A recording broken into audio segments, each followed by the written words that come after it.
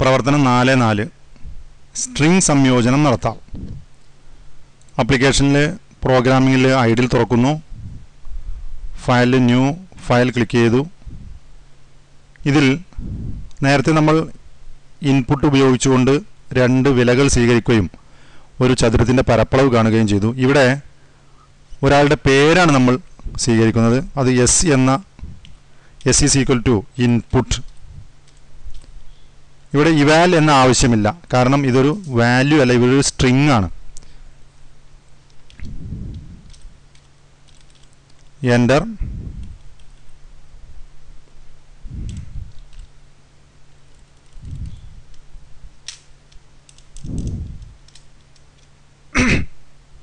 enter your school name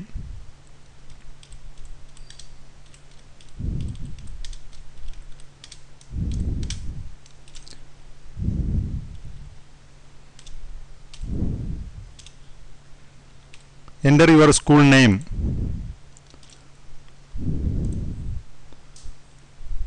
input ചെയ്യും എസ്സിലേക്ക് enter your school name എന്ന് അവിടെ പ്രദർശിപ്പിക്കും. അവിടെ നമ്മൾ ടൈപ്പ് ചെയ്ത് കൊടുക്കുന്ന പേര് എസ് എന്ന വേരിയബിളിലേക്ക് അത് സ്റ്റോർ ചെയ്യപ്പെടും. എന്നിട്ട് എന്താണ് പ്രിന്റ് ചെയ്യുക? Print you are a student of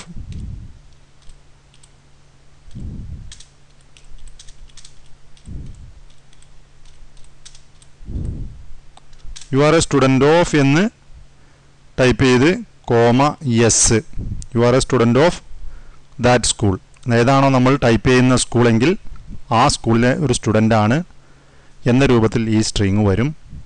നമുക്കിതൊന്ന് ഫയലിൽ സേവ് ക്ലിക്ക് ചെയ്യുക. സേവ് ക്ലിക്ക് ചെയ്യുന്ന സമയത്ത് തുറന്നു വരുന്ന ജാലകത്തിൽ നിന്ന് സ്റ്റുഡൻസ് വർക്ക് നയനിൽ ഒൻപത് എയിൽ നിങ്ങളുടെ ഫോൾഡറിനകത്ത് പൈത്തൺ എന്ന ഫോൾഡറിന് മൂന്നാമത്തെ പ്രോഗ്രാമായി മൂന്ന് ഡോട്ട് പി വൈ എന്ന പേര് നൽകി ഞാൻ സേവ് ചെയ്യുന്നു.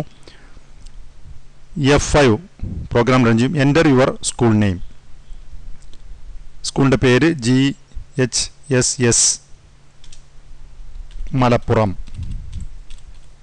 എന്ന് ടൈപ്പ് ചെയ്ത് എന്റർ അമർത്തി കഴിഞ്ഞാൽ you are a student of G H S S Malappuram എന്ന് കമ്പൂ കമ്പ്യൂട്ടറിൽ തിരിച്ച് ഒരു മെസ്സേജ് തരുന്നു. ഇത്തരത്തിൽ ഇൻപുട്ട് എന്ന കോഡ് ഉപയോഗിച്ചുകൊണ്ട് നമുക്ക് അക്കങ്ങളെയും അക്ഷരങ്ങളെയും കമ്പ്യൂട്ടറിലേക്ക് സ്വീകരിക്കാനും അതുവഴി പുറത്തുള്ള ഒരു ഉപയോക്താവിനുമായിട്ട് ഇന്ററാക്റ്റ് ചെയ്യാനും സാധിക്കും.